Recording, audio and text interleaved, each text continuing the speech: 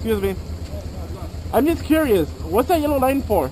Oh, we're this we're uh, roping right here because we're gonna be pulling in a, a new cable for the telephone pole. Oh, okay. Yeah, Because I've seen it somewhere else down the street too. Yeah, yeah, yeah. What we do is we rope the whole thing first, and then once we get it to both ends where we need it, then we'll put the cable on one side and we'll pull the rope through so that it's uh, in line with the other with the other uh, wire. That's cool. Okay. Thank you. Is that for like for like uh internet or something? It's AT&T. It's fiber optic cable. It's fiber. internet telephone. Yeah. Awesome. Thank you. You too.